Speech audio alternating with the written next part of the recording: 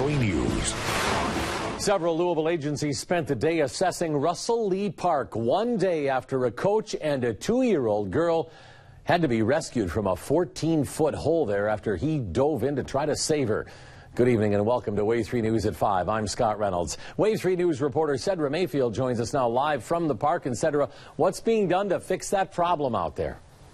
Members of Metro Parks and Recreation have teamed with the Metro Sewer District to fill that 14-foot hole. Now this sectioned off area is what remains. You can see where a soil has been laid down. Beneath that, the hole has been filled with rocks.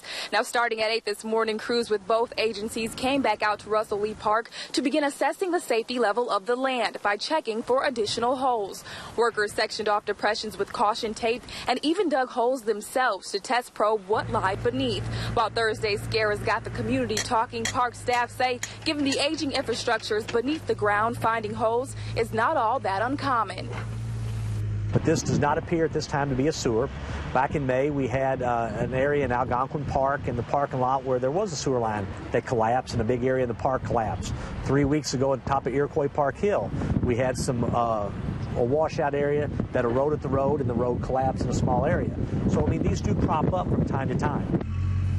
Park staff say they're teaming with MSD to come up with a long-term solution. In the meantime, this park remains closed until further notice. Coming up on Wave 3 News at 6 o'clock, an inside look at what it's like to be down inside that 14-foot hole and why park staff say the hole went untreated. That's ahead for now. We're live from Russell Lee Park. Cedra Mayfield, Wave 3 News. All right, thanks for the updates.